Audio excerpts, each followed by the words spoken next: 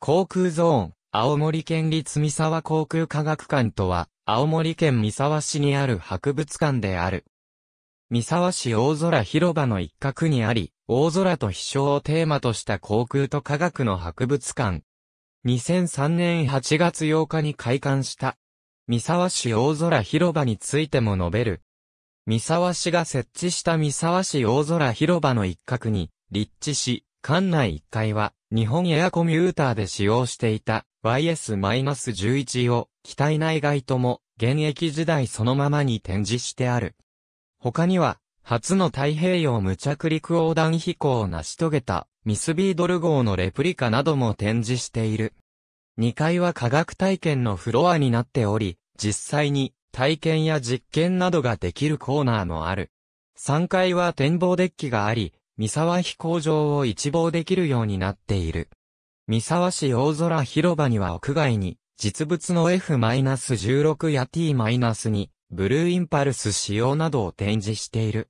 ただし、大空広場に展示している航空機は、航空自衛隊やアメリカ空軍などによる協力のもと借り受けているものである。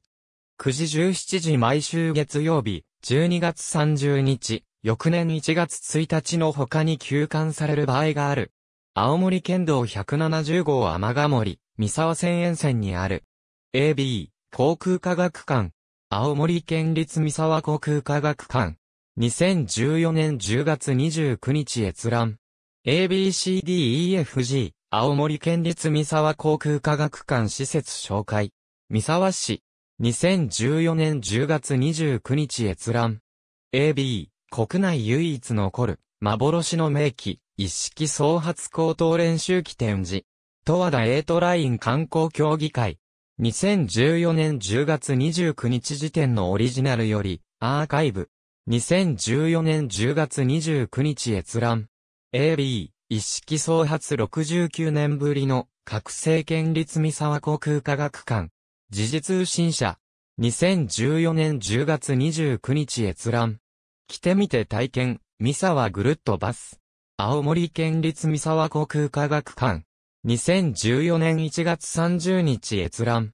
ありがとうございます。